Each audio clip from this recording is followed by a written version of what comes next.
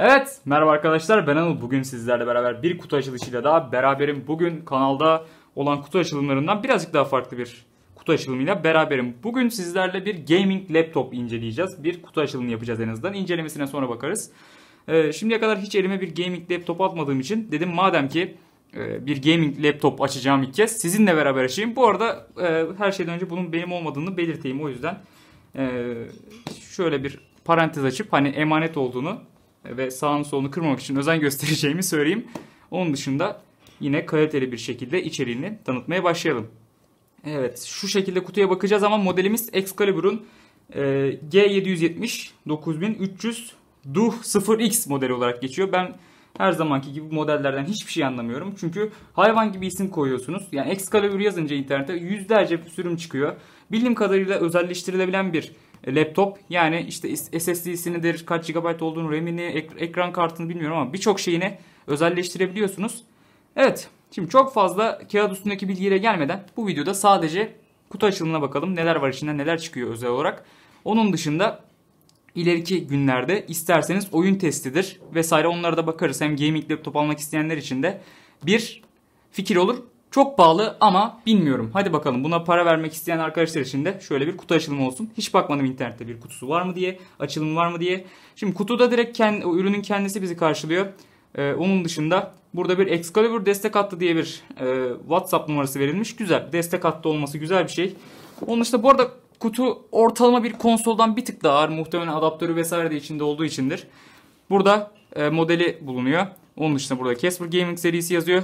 Evet burada modelimiz yandıktan sonra yan tarafta da aynı şekilde e, içerik e, kutunun içeriği değil de birazcık e, laptopun özelliklerini görüyoruz. SSD bulunduruyor. RGB ışık klavye zaten oyuncuların olmazsa olmazı. Artık oyuncular ne SSD ne şey önemli. En önemli şey RGB. 5.5 mm'lik ince çerçeve var. IPS olması lazım ama tam olarak bilmiyorum. Onlara yine bakarız.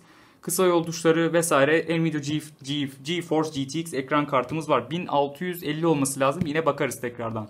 Arkasına gelince yine laptopun arkasını görüyoruz. Burada Excalibur yazıyor. Altında yine modelin ismi var.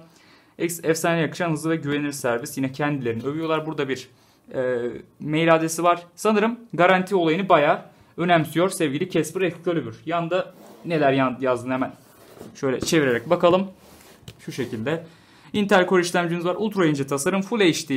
Evet IPS ekranımız varmış. Yüksek performans turbofon. Dolby dijital ses sistemimiz bulunuyormuş. Yani nereden baksanız öpüp başınıza koyun. Tatlı bir sistem varmış gibi görünüyor.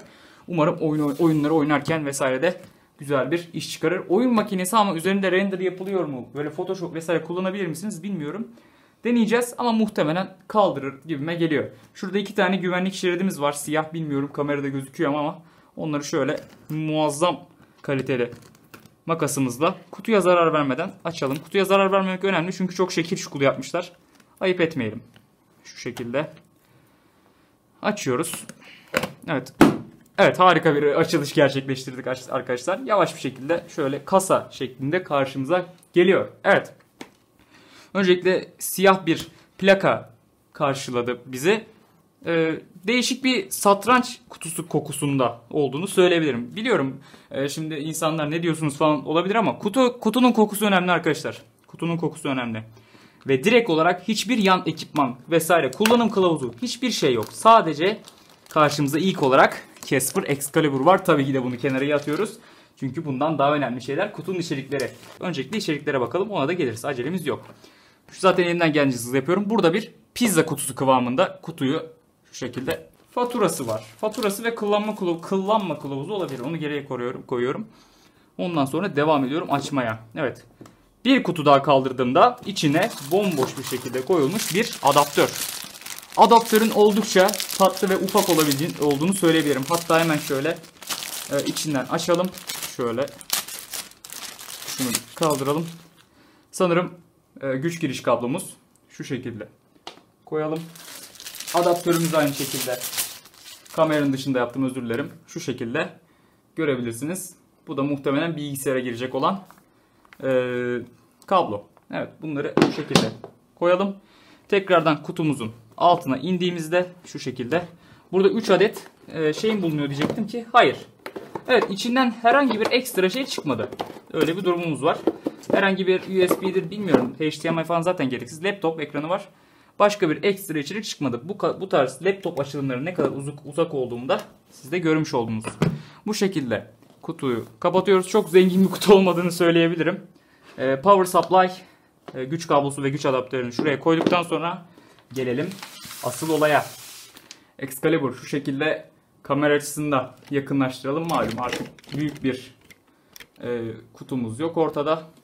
Tamam kamera açısına yakınlaştırdığımıza göre şu müthiş jelatinini kafanızı geçirseniz öleceğiniz jelatini şöyle alalım ve şöyle birazcık yakından göstereyim. Çok tatlı gözüküyor. İpin bayağı bir ince. E, tam olarak hatırlamıyorum. 5.5 mm miydi? İp, e, ne kadar ince olduğunu şöyle gösterebilirim. İki parmak kalınlığında yaklaşık 1 lira kalınlığında olabilir. Şöyle girişlerine bakıyoruz. Bir adet Type-C, bir adet HDMI, bir adet USB 3.0 var. Aynı şekilde arkası boş. Yan tarafına geldiğimizde bir adet Ethernet girişi, bir adet USB 3.0 girişi, bir adet kulaklık girişi ve micro SD kart okuyucu olması lazım. Aynen öyle. Şimdi ne kadar şeker bir şeysin sen ya. Hemen üstünde biraz parmak izi bıraktık. Olsun önemli değil. Şöyle bir açalım bakalım. Oo. Evet.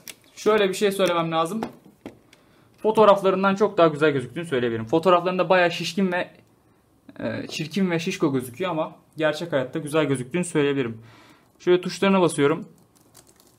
Tuşları oldukça yumuşak zaten. E, ışık RGB ışıklandırması olduğu söyleniyor. Burada bir GeForce RTX işareti. Bir touchpad'imiz bulunuyor. Değişik bir hissiyata sahip.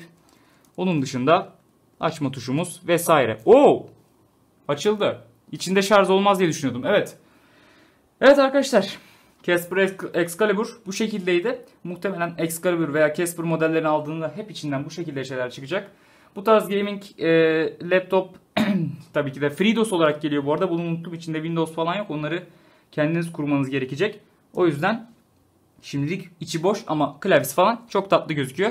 Bunlara bakacağız. Boot olayına sonradan gireceğiz. O yüzden bunu şimdilik kapatıyoruz. Evet arkadaşlar dediğim gibi umarım beğenmişsinizdir. Bir laptop içeriğinden çıkan, gaming laptop içeriğinden çıkan şeyler bunlar. Bakalım ben hiç şimdiye kadar gaming laptop oynamadım, kullanmadım.